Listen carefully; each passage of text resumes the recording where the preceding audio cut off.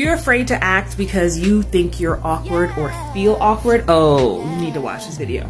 Listen, I get comments here all the time about, I feel awkward when I act, or I really want to do it, but I think I'm awkward, or it feels awkward. Here's what I want you to know. You are using your imagination every single day. You're either using your imagination for to think of the best case scenario, or you're thinking of your using your imagination for the worst case scenario. But here's the thing. You might be awkward, but here's a question. Is your character awkward?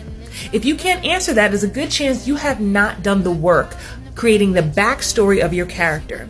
So oftentimes we have to borrow a feeling. We have to borrow an emotion. Have you ever seen someone who seems really confident? I mean, I think I am, right? Have you ever seen someone and you're like, gosh, they're so confident. I wish I could be confident like that.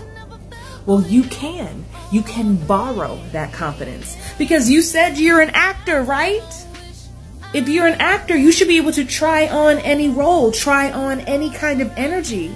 So if you don't personally possess confidence the way you would like to, if you don't personally think you possess, I don't know, sexiness or if you're suave or got swag, do you have an example of someone who does? Like for me, Beyonce is fierce, honey. She is killing it. She's just a boss. So when I want to step into my boss, fierce, sexy energy, guess what? I play some Beyonce. I watch some Beyonce videos and I put my heels on and I'll stomp around the house acting like who?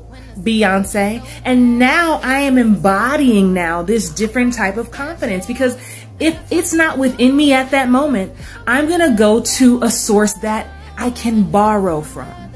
So I want you to stop telling me that you are just awkward and that's why you don't want to do it. Now listen, if you don't want to be an actor, you don't have to be an actor.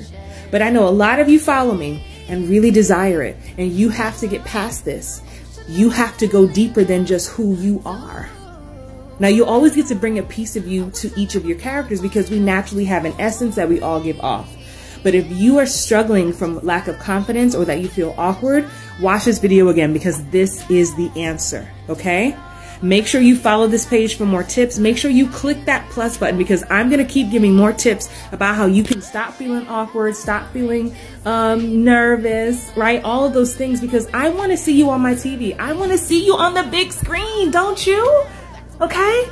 That's why you're feeling awkward.